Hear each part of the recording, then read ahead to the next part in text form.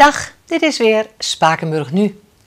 Wij hebben vandaag de volgende onderwerpen voor u: de Duker en de oude School. Softwarefouten leiden jaarlijks tot zo'n 1,6 miljard euro schade voor de Nederlandse economie. Werkzaamheden moeten vaak onderbroken worden als IT-systemen falen en dat kost veel geld. Dat staat in een onderzoek van een IT-bedrijf in Vianen. Het gaat met name om storingen en andere foutjes die het functioneren of de snelheid van bepaalde programma's beïnvloeden, maar ook niet werkende bankier-apps en het niet kunnen gebruiken van digitale formulieren bij overheidsinstanties.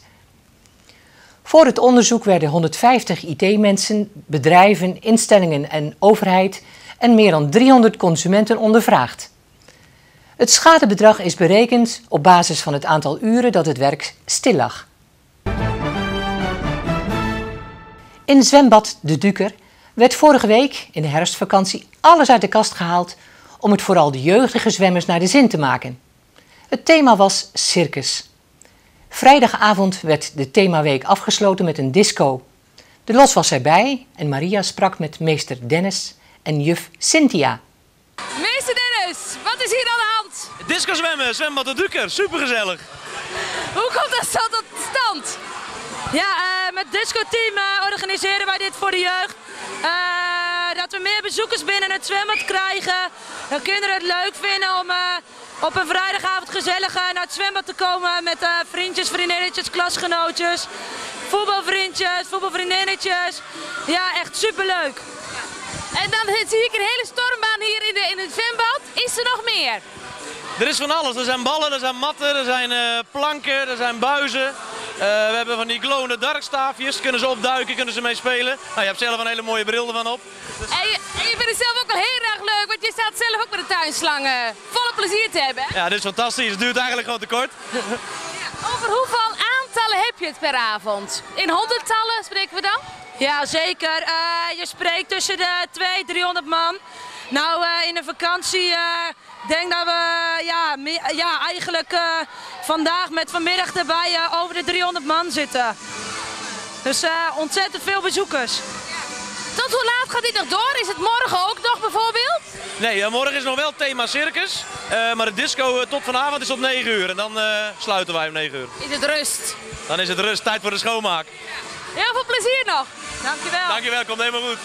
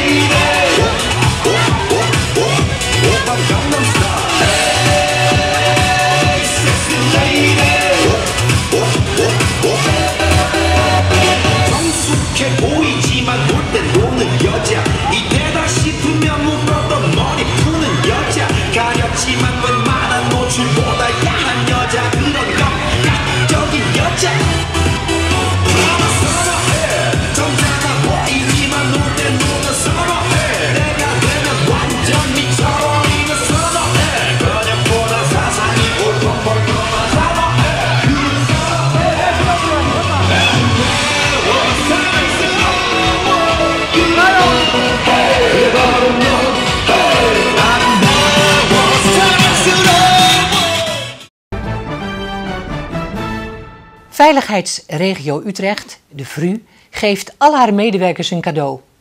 Alle 2500 medewerkers krijgen een rookmelder om op te hangen bij iemand die hen lief is.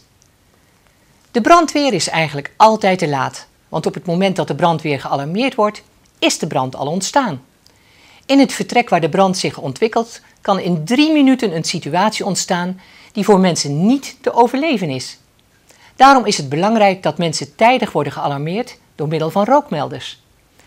Daarnaast moeten mensen meer weten over het veilig uitvoeren van een bluspoging of het ontvluchten van de eigen woning.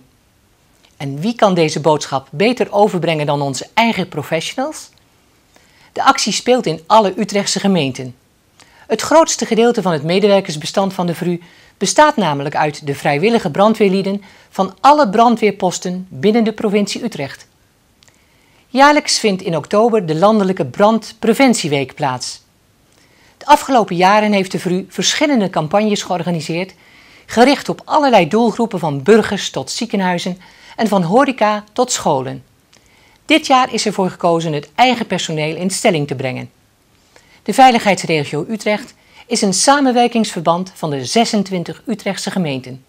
De VRU coördineert de veiligheid van alle inwoners in de provincie Utrecht. Het project Laakzone staat donderdagavond 30 oktober centraal tijdens een inloopbijeenkomst in het i-centrum in Vathorst. Tijdens de bijeenkomst is informatie te krijgen over het project en zijn er medewerkers van ontwikkelingsbedrijf Vathorst, Waterschap Vallei en Veluwe en gemeente Amersfoort aanwezig om vragen te beantwoorden. De inloop is tussen half acht en acht uur. In het project Laakzone worden mogelijkheden voor recreatie ontwikkeld in het gebied tussen de wijk Vathorst en Bunschoten-Spakenburg. Zo komt er onder meer een vaarroute voor sloepjes, kano's en fluisterbootjes die via de Laken en de Rengerswetering vanaf Vathorst naar het Randmeer kunnen varen. Ook worden er nieuwe fietspaden en wandelpaden aangelegd.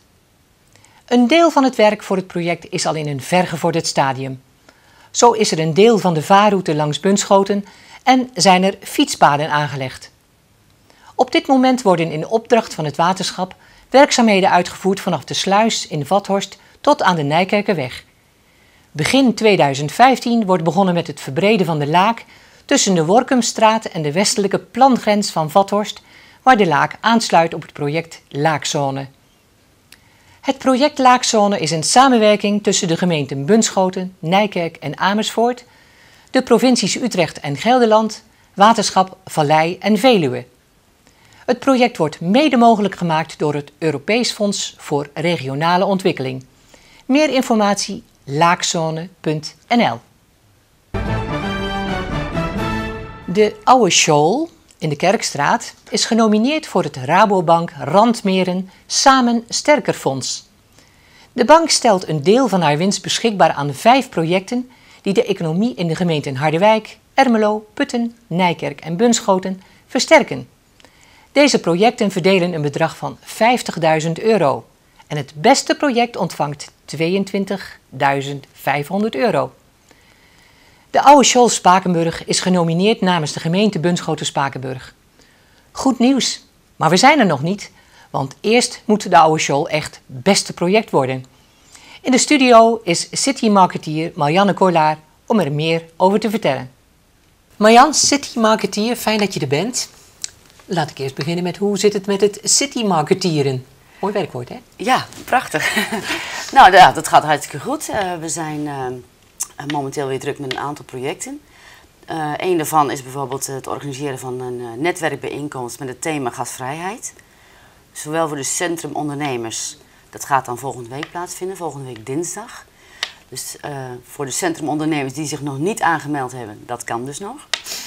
En volgend jaar willen we voor de bedrijvenkring ook zo'n bijeenkomst organiseren. Ook weer met hetzelfde thema, gasvrijheid. Dus dat is wat er nu op stapel staat. En natuurlijk dan ja, dit project van de oude school. De oude school, ja, ja. Zo, zo, moet je het zeggen, hè? Ja, ja ik kan moeilijk zeggen de oude school. Nee, dat, dat past niet. dat past niet helemaal wat, wat, is nou eigenlijk de oude school? Nou, de oude school is uh, natuurlijk een monument. En dat is opgekocht, zeg maar, of gekocht door de Stichting Monumenten Bunschoten. En eh, die hebben daar een plan voor ontwikkeld. Eh, want ja, een monument is hartstikke leuk dat er staat, maar het moet en gerestaureerd worden en er moet natuurlijk een invulling komen. Ja, Want een monument restaureren en dan zeggen van, nou ja, het staat daar leuk te dat wezen, heeft geen zin. dat heeft geen zin. Dus er zijn plannen. En eh, om ja, van dit gebouw, wat natuurlijk op een, eh, op een eh, prachtige plek staat, Ja. om die eh, te gaan restaureren en ja, weer een Om er- functie te geven. Om er iets moois Ja, van te maken. Ja. Nog even in het verleden. Wat is nou precies die oude show? Nou, het is werkelijk een school geweest natuurlijk. Daarna heeft het verschillende invullingen gekregen. Dus het is een. Eh, nou, de oude school kwam, eh, even kijken, eh, de worstfabriek Ja. volgens mij. Ja. En daarna eh, autobedrijf Blokhuis heeft er nog in gezeten. En toen die wegging, ja. Was het ene winkeltje naar het andere. Maar, ja, precies. maar het is altijd zo geweest. De oude show die blijft bewaard voor het dorp vanwege de geschiedenis. Ja, vanwege de geschiedenis. En dat het nu natuurlijk inderdaad een monument is. Dus Ja. dan, En de plannen. En de plannen. Nou, eh, de plannen die komen natuurlijk, eh, initiatiefnemer is Stichting Monumenten Bunschoten. Die hebben het plan eh, opgevat om eh, nou ja, het te gaan restaureren in eerste instantie. En dan hopelijk daar een invulling te geven door middel van de bibliotheek erin in te laten plaatsnemen. De bibliotheek zit nu natuurlijk ook nog in een te groot pand. Het moet allemaal, ja, Het moet bezuinigd worden. het moet bezuinigd worden, het moet nieuwer, het moet ja, meer naar de toekomst gericht, eh, meer met internet, eh, met e-readers. eh, nou. Dus dat is een mogelijke optie om die daar plaats te laten nemen. En daarnaast, wat we heel graag zouden willen, is de. ja, ik weet niet of mensen de postkamer kennen in Nijkerk. Maar dat is een, ja, een, een café, een restaurant. En dat wordt gerund door mensen met een beperking. Ja, heel leuk, heel gezellig. Ja, echt heel gezellig. En dan natuurlijk een verbinding, een verbinding tussen de bibliotheek. Dus als men daar aan de leestafel zit of achter de computer, dat men een kopje koffie kan gaan halen. Ja, leuk. Dus die combinatie natuurlijk ook voor eh, ja, de plaatselijke bevolking, dat je er lekker naartoe kan gaan en eh, ja, een kopje koffie drinken, een broodje heel eten. aantrekkelijk. Ja. En En, we ook hebben natuurlijk terras erbij? dat eh, weet ik nog niet. Er zijn natuurlijk ideeën, maar ik heb nog, nog niet iets gezien van een terras. Het hangt natuurlijk ook een beetje van de ruimte af en, en eh, de afstand van de straat. Ja. Dus dan zou je eventueel, een, eh, als er een terras gaat plaatsvinden, ja, dan zou het aan de zijkant moeten, want anders heb je natuurlijk geen ruimte. Maar daar ben ik niet eh, van op de hoogte of er een, een terras komt. Maar heel Wens. Wens, ja. nou, het zijn allemaal ideeën, dus wensen kunnen natuurlijk nog meegenomen Ja. worden. Er is nog niets, eh, niet wat vaststaat. Er zijn ook voor de rest nog geen afspraken gemaakt met de bibliotheek of met eventuele ja, organisaties die eh, graag een dagbesteding zouden willen. Nou zit de oude show in het Rabo Randmeren Samen Sterker Fonds. Hè, wat een mond vol, maar ik zeg het goed, geloof Ja, ik. ja. Er zijn meerdere proje- projecten. Hoe is men op het idee gekomen om daar aan te melden? Nou, eh, de eh, Rabobank Randmeren heeft een, een stimuleringsfonds. De meeste mensen zijn er wel van op de hoogte. Daar zit een budget in, in dat stimuleringsfonds. En eigenlijk ehm, ja, liep dat niet, niet eh, naar wens. Dus eh, ja, ik weet niet of de pot niet helemaal leeg kwam, maar in ieder geval ze hadden zoiets van, we moeten er wat anders mee doen. Dus ze hebben het Samen Sterker Fonds hebben ze opgericht. En ze hebben eigenlijk een soort met wedstrijd uitgeschreven onder de vijf eh, randgemeenten, zeg maar, die aangesloten zijn. Waaronder dus ehm, Harderwijk, Putten, Ermelo, Nijkerk en Bunschoten-Spakenburg. Die vijf vallen onder Rabo Randmeren. En die hebben allemaal een project. En het verzoek is dus binnengekomen van, eh, nou, kom op, kom met een leuk project. Wat eh, sociaal of maatschappelijk zeg maar een, eh, een aanvulling is. Wat, wat, wat draagvlak creëert zeg maar in, in jullie gemeente. En dien dat in. En nou ja, win de eerste prijs. Ja, En de eerste prijs is natuurlijk een heel leuk bedrag van 22.500 euro. Dus dat is natuurlijk niet niks. nee. En ehm, wij kregen eh, vanuit de burgemeester die zei van nou, dat is een leuke opdracht voor city marketing. Dus ik kwam het op ons bordje van nou ja, welk project gaan jullie indienen? Dus er zijn natuurlijk, want er zijn wel meer eh, projecten die eigenlijk ehm, in aanmerking kwamen. Alleen door ja, toch de tijdsdruk. En, ehm, want een van de projecten is bijvoorbeeld hè, de Bottenwerf en, en de Bruine Vloot. Ja, dat is natuurlijk ook heel belangrijk Ja, dat dat zeker. behouden gaat worden. Maar eh, ja, die plannen zijn nog niet helemaal, eh, helemaal in kan en kruiken. Die zijn nog niet eh, ja, financieel goed onderbouwd. En dat waren allemaal voorwaarden natuurlijk voor een project wat je dan Ja. indient. Dus we hebben gekozen voor een project wat al wel op de plank lag. En dat was het project van de oude, van de oude show. Ja. En nu is het natuurlijk zo, stel voor dat we de eerste prijs winnen. Ehm, ja, dan is het natuurlijk een druppel op de gloeiende plaat als je het over restauratie hebt. Dus het- dat geld is niet bedoeld voor de restauratie van de school. Eh, het geld eh, wat wij winnen, want je krijgt sowieso een prijs, een geldprijs. Het geld dat wij winnen is echt bedoeld om het plan los te trekken. Om draagvlak te creëren Ja. in een dorp. Om eh, bijeenkomsten te houden, om sponsoren te werven. Daar is, het, is de prijs voor bedoeld. Het is Maar echt voor het marketing. En, We gaan ervan uit dat we de eerste prijs winnen. Hè? natuurlijk. Hoe kunnen kijkers meewerken? Nou, eh, er zijn eh, eh, drietal dingen die dus eigenlijk meetellen. In eerste instantie is er een, een commissie gevormd, een jury zeg maar.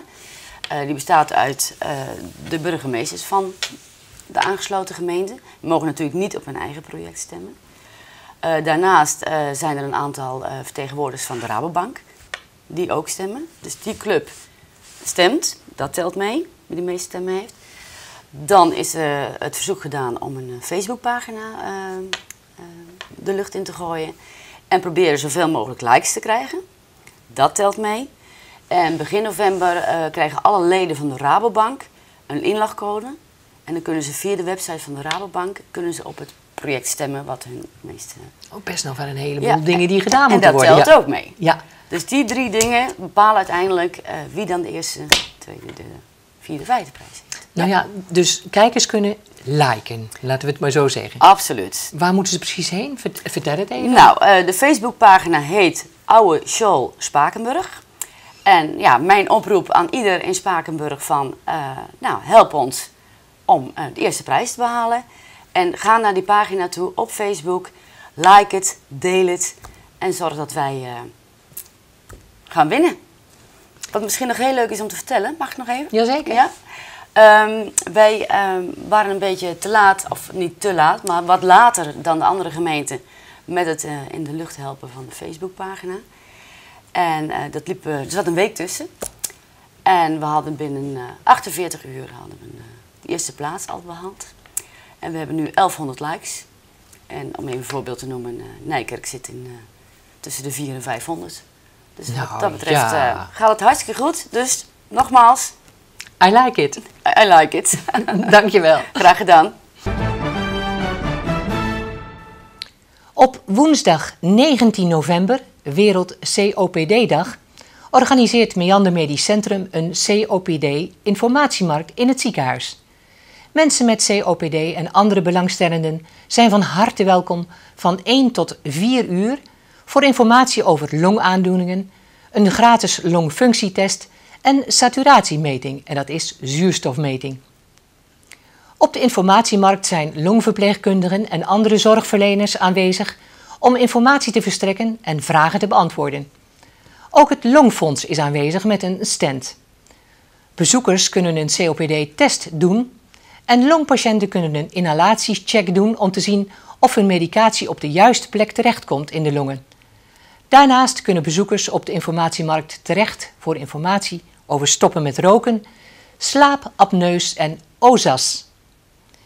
COPD is een chronische longziekte waarbij de longen beschadigd zijn. Voor COPD-patiënten is ademen moeilijker, waardoor zij minder energie hebben. In Nederland hebben ruim 320.000 mensen deze ziekte. Locatie in de laan van Meander Medisch Centrum, Maatweg 3 in Amersfoort. Tijd van 1 tot 4 uur. Toegang is gratis en aanmelden is niet noodzakelijk. Nu de zomervakantie weer voorbij is, heeft een grote reisorganisatie 13.000 Nederlanders gevraagd een rapportcijfer te geven aan hun vakantie. In de top 3 staan opvallend genoeg twee kleine landen, Andorra en Kaapverdië. Ze kregen allebei een 8,7. Oostenrijk bezet de derde plaats en dat niet alleen als wintersportbestemming. Bij de meer bekende zomervakantiebestemmingen scoren Griekenland met 8,1, Spanje met 8,0 en Turkije met 7,9 erg goed. Opvallend is dat ook Egypte zeer geliefd is. Met een score van 8,1 is de Rode Zee als strandbestemming weer helemaal terug. Op de vraag waar wij ons het meest aan storen tijdens de vakantie werd vaak het lawaai van de buren genoemd. En de Nederlander wil ook graag altijd en overal online zijn. Dat betekent dat een goede wifi in de hotels onontbeerlijk is geworden. En niet alleen in de lobby, maar ook op de kamer en liefst ook nog aan het zwembad. Nederlanders willen zoveel mogelijk hun vakantieplezier delen met thuisblijvers op allerlei social media. En daarnaast beluisteren ze graag muziek, lezen een boek of kijken naar een film via een tablet. Veel mensen geven aan dat ze vaak wel één keer per dag in hun mailbox kijken om niet te ver achter te raken en bij terugkomst niet een overvolle mailbox aan te treffen. En het merendeel geeft echter ook aan dat dit hun relaxte vakantiegevoel niet verstoort. De kwaliteit van het hotel of appartement heeft ook een sterke invloed op het rapportcijfer dat Nederlanders geven aan hun vakantie. Uit het onderzoek kan ook opgemaakt worden dat veel mensen langer in de vakantieflow blijven hangen als het mooi weer is in Nederland. Zodra de herfst is ingezet en het koud en guur wordt, wil men het liefst weer een volgende vakantie boeken om naar uit te kunnen kijken. Dit was het weer. Spakenburg nu. Vrijdagavond en zaterdag zijn wij er weer, maar daarvoor kunt u nog kijken naar Los Politiek met Alma Broekmaat van de ChristenUnie en de volgende dag Los Sportcafé. Een heel fijne dag gewenst.